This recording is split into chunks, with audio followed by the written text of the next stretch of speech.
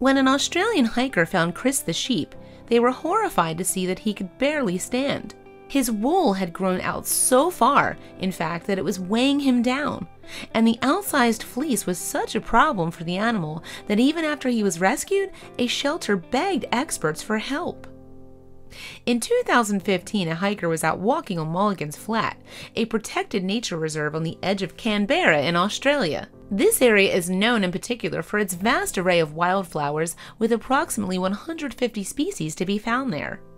On this day, however, something much more disconcerting had caught the walker's eye. And the object of the hiker's attention was unusual to look at.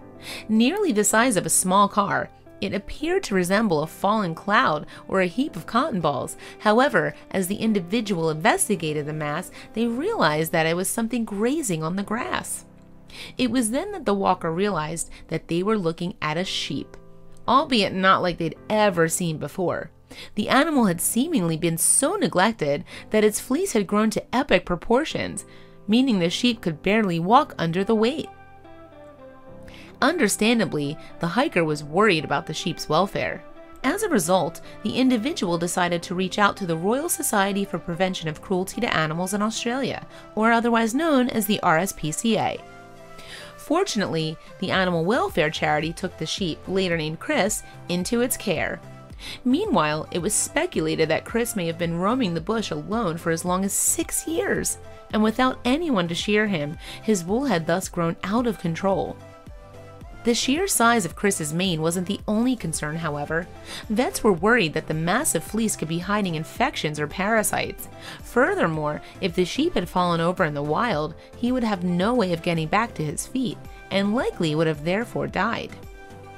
So, in order to check Chris's overall health, the RSPCA appealed for a shearer online. In 2015, the RSPCA chief executive Tammy Ven Dange told the Australian Broadcasting Corporation, or ABC, It'd be great to get someone here immediately so we can assess any serious medical conditions he might have as a result of this. Ven Dange added, such a large fleece can actually make it impossible for Chris to go to the bathroom. We don't know how bad the damage could be, however, because this has been building for a while. There are so many things that could go wrong with this, but we won't know until we can properly shear him.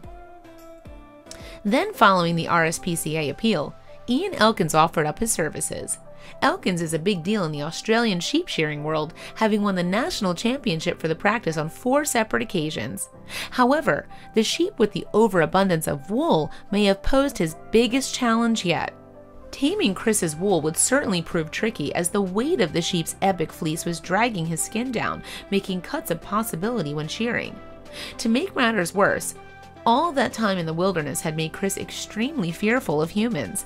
Needless to say, then, Elkins had a major task on his hands.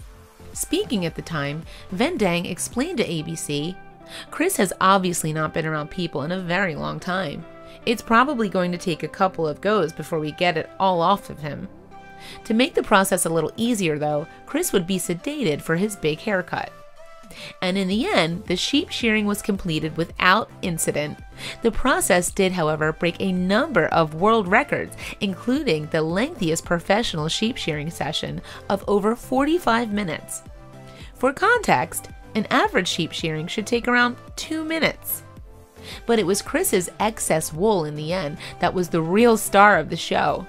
By the end of the process, the wool tipped the scales at 89 pounds, about eight times more than an average merino sheep would produce. As a consequence, Chris entered the record books for the largest amount of wool sheared from a single sheep. The previous record holder had been a sheep called Big Ben. Before that, Shrek the sheep had reigned supreme. Like Chris, Shrek had been found neglected, roaming the New Zealand countryside under an almost 60 pound fleece back in 2004. Ultimately, then, Chris had beat Shrek's record by almost 30 pounds. It's actually smashed the record, Elkins proudly told The Guardian in 2015. It's very exciting to be a part of it, and it's quite pleasing that the welfare of the sheep was taken care of. Following the record breaking shearing, Chris's fleece was put permanently on display at the National Museum of Australia in Canberra. The exhibit is intended to represent the history of the wool industry in the country. It also shows the importance of animal welfare. But although Chris's wool had found a worthy home, Chris himself initially had an uncertain future. Then, after hundreds of adoption offers had come in from the general public, in September 2015, Chris was finally sent to live at the Little Oak Sanctuary in Braidwood, New South Wales. However, while Chris ultimately got his happy ending, his story arguably reveals some problems with the ways in which humans treat their fellow animals. Historically, sheep would have shed their wool naturally. Today, though, they have been bred by humans to retain their coats in order to make money from the fleeces. Thankfully, in this case, Chris was able to thrive at Little Oak Sanctuary. When we first took him to the farm, he was really shy, but he's become really cheeky, Ven Dange told the Canberra Times in 2016. He now eats out of a bucket, he's getting a lot more brave around people, and he is finally not struggling to sit down. Share away, people!